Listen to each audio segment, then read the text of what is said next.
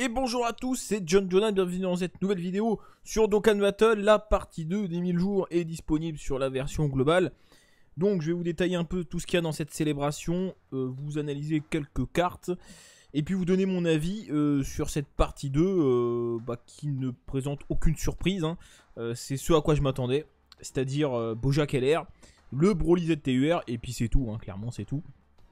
Donc on va voir un peu tout ce qui se passe dans cet événement. Donc bonus de co, euh, je vous le montre tout, de suite, c'est euh, bah, rien de surprenant. Euh, on va effectivement avoir des tickets dans cette deuxième partie, donc ce qui est cool, hein, parce que sur Ajap il n'y avait eu qu'une seule partie. Donc on va encore récupérer 30 tickets en tout, d- euh, 20 via l'émission limitée et 10 en bonus de co. Donc ça fait plaisir, hein, donc on fera un live bah, le vendredi, le vendredi 20 avril en espérant dropper des choses intéressantes hein, sur cette deuxième session, n'est-ce pas? Donc 10 DS à la première connexion, donc euh, bon bah c'est toujours ça de prix, hein, c'est cool. Ensuite on retourne sur le... Alors oui, voilà, l'émission limitée vite fait. Bon, j'imagine qu'elles doivent être semblables aux premières, hein, je pense. Alors, donc, quotidien, 10 ACT, 30 ACT, les tickets c'est toujours pareil. Durée limitée, 1000 ACT, aucune statue platine. Euh, effectuer visite suprême d'un personnage, 3 DS. Euh, terminer n'importe quel niveau, 3 fois, 5 fois, jusqu'à 30 fois. Donc ça fait euh, 5, 7, ça fait 10 DS. Bon, bon, on prend, on prend 10 DS, on prend. Ça fait plaisir. Donc, on enchaîne. Donc, bonus de co, on a vu, mission limitée, on a vu. Des soldes sur les DS, pourquoi? Parce que, voilà, je l'avais dit, Bojack LR euh, se pointe. Il va arriver sur son propre portail. Si il est identique à l'Aja, eh bien, ce sera un portail euh, random, hein, voilà, avec Bojack LR, ok, le Saint Graal, et après à côté, que des cartes random, qui pour la plupart sont pas très intéressantes. Bon, j'ai checké le portail vite fait, je le remontrerai euh, quand j'invoquerai, mais il y a quand même les Godku qui auront un très très bon éveil, notamment, mais après, voilà, hein, c'est pas, c'est pas transcendant. Donc, bah, comme d'habitude avec les portails LR, hein, certes, le LR sur le portail, a un taux de drop plus élevé que quand il est hors portail, c'est sûr. Mais le taux reste quand même assez bas. Il faut quand même mettre pas mal de DS euh, pour, pour- espérer l'avoir. Donc c'est pas évident. Donc on tentera notre chance. Pour le plaisir, pour, pour le beau jeu. Euh, on mettra 50 à 100 DS maximum. Mais euh, j'irai pas plus loin parce que euh, de toute façon, Bojack LR, j'en ai pas besoin. hein. J'ai fait l'extrême euh, Z Battle, euh, l'extrême Battle, le Super Battle Road Extrême Intelligence. Sans lui, non merci, j'en ai pas besoin. Donc même s'il est très bon, c'est le meilleur Neo LR. D'ailleurs, on va, en parler tout de suite. Je vais vous remontrer rapidement la carte parce qu'il est quand même, il est quand même très très fort hein, ce Bojack. Mais et voilà, quand bien même il est fort, j'en ai pas spécialement besoin. Et il a quand même un petit défaut. Alors je rappelle, qu'est-ce qu'il fait de beau ce Bojack Donc première spé, dégâts gigantesques, 10 fort en AD, faut on s'en fout. Dégâts titanesques, attaque plus 40% pour tous les alliés euh, de classe extrême. Il a attaque et def plus 80% de base. Et en plus, plus les PV sont élevés, plus on a de l'attaque en plus, jusqu'à 70% quand on a 100% de PV. Plus les PV sont bas, plus on gagne de la défense. Ce qui fait que ce Bojack est extrêmement polyvalent.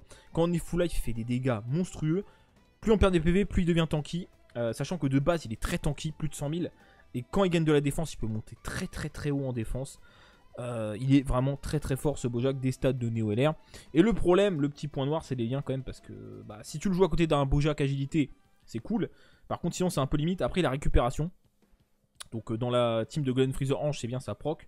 Mais après, euh, c'est un peu pas ouf. hein. donc, faudra faire attention à ces liens. Mais c'est pour moi quand même le meilleur Neo LR. Il n'y a, a pas à dire. Même si le Goku Ange, euh, le Goku Ange, le Goku SAJ3 Tech est pas loin. hein. D'ailleurs, il- ce sera le prochain à sortir normalement. Et il sera normalement hors portail. S'il est sur le portail, le Goku Tech, putain, je, vais, craquer, je vais avoir du mal à. je, kiffe, la carte est magnifique, hein, c'est une, de mes cartes préférées, enfin bref. Retourne de l'évote mercenaire de l'espace qui permet de farmer l'aspect de Bojack, mais c'est extrêmement long, extrêmement coûteux. Et il faut avoir des Bojack puis SR de côté, euh, qui sont invocables, hein, pas farmables. Euh, donc c'est extrêmement long, il faut plein de médailles, un peu à la Trunks Carry, c'est un, bordel sans nom. Donc bon courage à ceux qui voudront le faire. Le retour de Story Event de Vegeta Bulma. Ok, je sais pas pourquoi ils mettent ça là, mais ok, d'accord. Donc euh, vous pouvez farmer un Vegeta Bulma Agi euh, gratuit qui est assez intéressant. Il se donne ki plus 3 attaque et def plus 50%.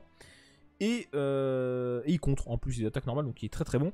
Le Festival de Cannes Suprême avec à l'intérieur Jubai, Broly et Vegeta SH4, même si on le voit pas sur la bannière.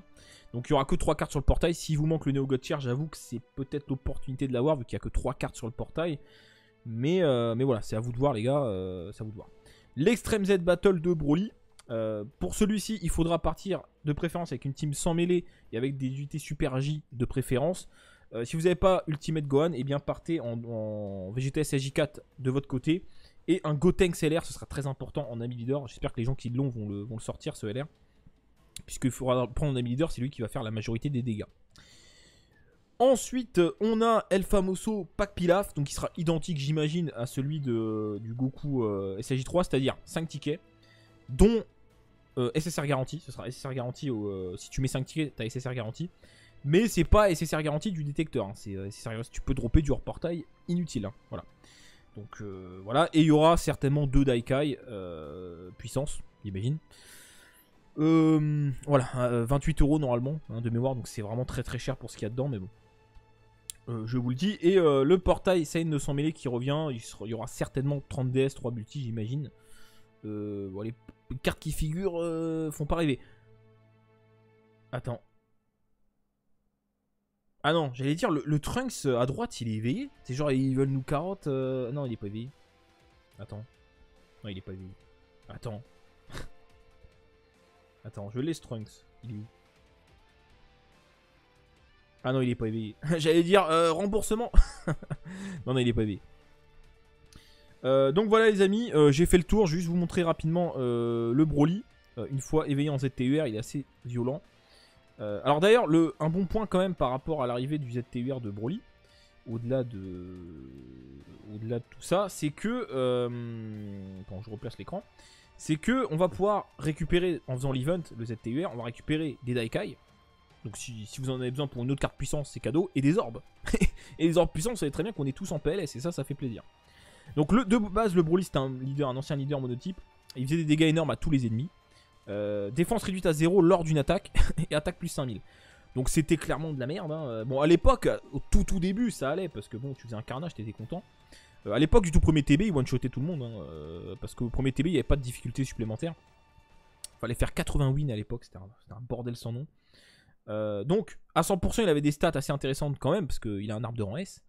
Donc, une fois qu'il passe avec le ZTWR, donc le leader, ça devient comme Omega Shenron. L'aspect 15, donc l'aspect passe à niveau 15. Dégâts colossaux à tous les ennemis, donc on up. Et augmente attaque pendant 3 tours, peut stack deux fois. Attaque et def plus 80%, donc ce Broly n'a pas de problème de défense. Il est même tanky. Pourquoi? Parce que regardez ses stats, une fois à 100% en ZTUR, presque 20 000 PV, 20 000 d'attaque, 12 000 de défense. Donc il va être tanky ce Broly. Hein, c'est surprenant parce que d'habitude les Broly sont des passoires. Par contre, le, petit bémol, c'est euh, les liens ne changent pas et euh, ils sont pas ouf. Hein, clairement, euh, tu veux le jouer. bah, si tu le jouer en extrême puis, tu le joues à côté de Rosé. Enfin, on n'a pas encore Rosé sur la globale, mais un support quoi, ou hit. Mais voilà, c'est un peu le bordel. donc voilà les amis, donc très très bon ce Broly une fois éveillé. Si vous n'avez pas Broly LR, et que vous avez ce Broly, clairement les gars, euh, si vous pouvez faire le ZTR, parce qu'évidemment l'event est assez compliqué, bah go, hein, parce que clairement, une fois maxé, il one-shot euh, tout le monde au TB, il hein, n'y a aucun problème. Hein. Même, s'il fait qu'une seule spé, il one-shotera tout le monde, il n'y a pas de souci.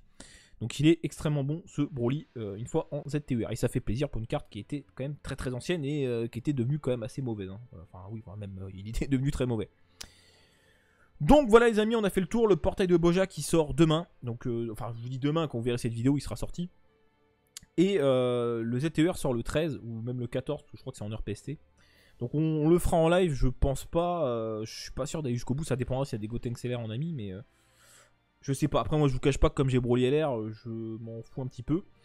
Mais bon, j'aimerais bien quand même l'éveiller, voilà, pour le plaisir de, de le jouer, mais j'ai pas de doublon, j'ai aucun doublon dessus.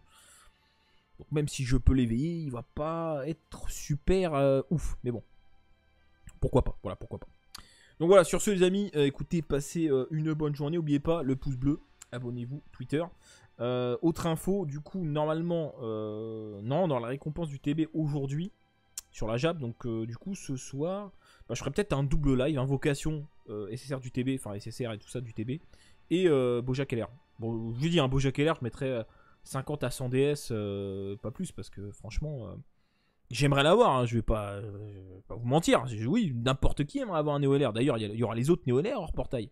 Moi, je veux bien Gotenks LR, tiens, bah oui, Gotenks LR, il me serait utile. Pour le coup. Enfin, il me serait utile, après, encore une fois, je m'en fiche, hein, même si je peux pas l'avoir, c'est pas grave.